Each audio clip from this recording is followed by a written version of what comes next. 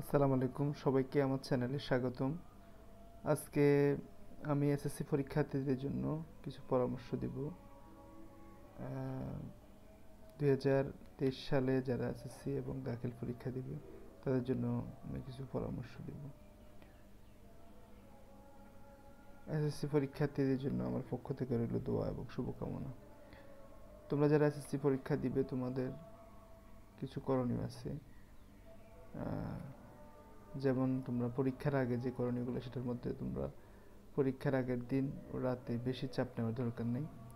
পরীক্ষার আগের রাতে শুধুমাত্র রিভিশন দিতে হবে।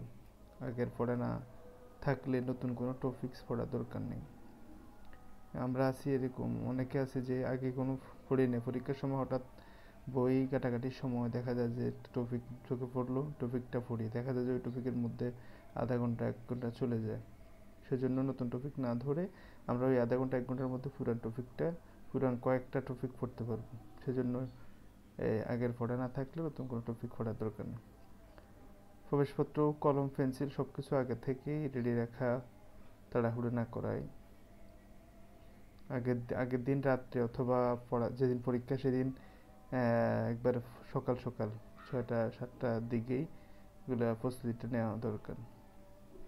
এরপরে সময় নিয়ে পরীক্ষার হলে যাওয়া। রওনা হওয়া অনেকে আছে তাড়াহুড়ো করে যে দশটায় পরীক্ষা তো, নয়টা সোয়া নয়টায় রওনা দেয় তো প্রথম দিন তো অবশ্যই তাড়াতাড়ি যেতে হবে। পরেও চেষ্টা পরেও চেষ্টা করতে হবে যাতে তাড়াতাড়ি যাওয়া যায়।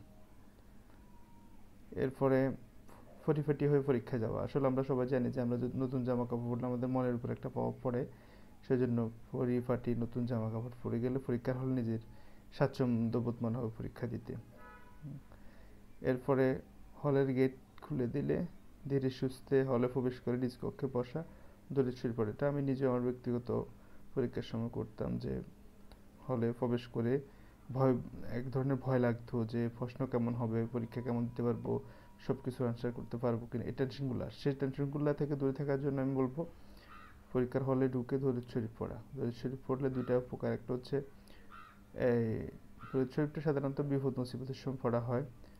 তো পরীক্ষার হলেও আমরা মুসিবত না হলেও একটা চাপে থাকি। সে চাপ থেকে নিজেদেরকে একটু মানে ইয়ে করার জন্য হালকা রাখার জন্য দরুদ শরীফ পড়া উচিত। যাতে করে পরীক্ষাটা সুন্দরভাবে দিতে পারি। অনেক সময় দেখা যায় দরুদ শরীফ পড়ে, পড়লে চাপটা কমে যায় এবং পরীক্ষার প্রশ্ন যতই কঠিন হোক তিনি সুস্থে আস্তে আনসার সুন্দরভাবে করা যায়। তো এভাবে তোমরা এই নিয়মকানুনগুলো মেনে চলবে। ধন্যবাদ সবাইকে।